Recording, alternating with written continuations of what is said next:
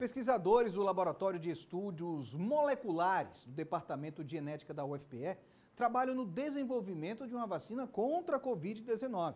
A Universidade Federal é a primeira do Nordeste a pesquisar um imunizante contra a doença. A vacina está sendo desenvolvida por pesquisadores do Laboratório de Estudos Moleculares e Terapia Experimental do Departamento de Genética da Universidade Federal de Pernambuco. Primeira do Nordeste a trabalhar com o desenvolvimento de um imunizante contra o novo coronavírus, a pesquisa da UFPE é exploratória, ou seja, o processo é feito de maneira diferente às principais vacinas que estão sendo desenvolvidas aqui no Brasil. As duas vacinas que estão mais próximas de liberação são a vacina de Oxford, né, que é baseada em adenovírus recombinante, e a vacina da Sinovac, que é aquela chinesa, que é baseada em, no vírus inativado.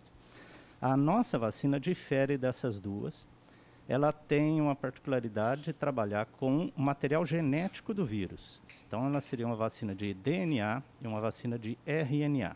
Outro diferencial da vacina contra a Covid-19 que está sendo desenvolvida pela UFPE é a utilização de um tipo de levedura, que não é a levedura utilizada em panificação e na fabricação de cervejas. E a grande vantagem do uso da levedura é que ela pode ser um veículo para levar essa vacina e, ao mesmo tempo, então, proteger essa vacina de uma degradação.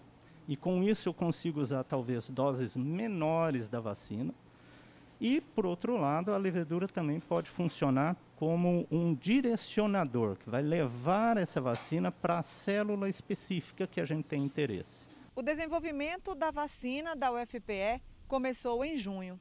A previsão é de que essa primeira fase dos estudos seja concluída até o ano que vem, com a testagem em animais. Se depois disso o resultado for satisfatório, aí o estudo segue para a fase de testagem em seres humanos. Parece muito tempo, mas o professor ressalta que antes da pandemia, produção de vacinas confiáveis chegava a demorar uma década para ser produzida. Os estudos para encontrar uma imunização contra a Covid-19 fizeram isso mudar minimizando a burocratização.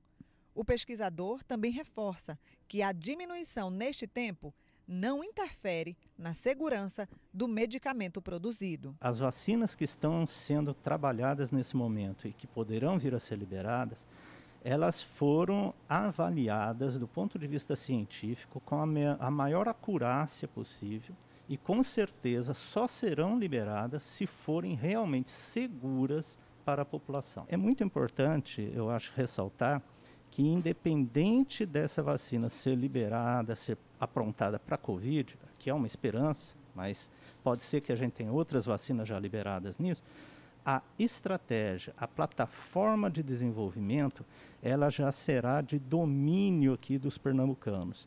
E isso poderá ser utilizado, essa plataforma, para trabalhos com vacinas contra dengue, contra zika, contra chikungunya, que é, nesse momento elas ficaram, vamos dizer, meio que esquecidas, mas a gente sabe que o verão está tá aí, o mosquito continua voando e ele com certeza continua com várias dessas doenças sendo transportadas. E elas são de interesse da nossa população também.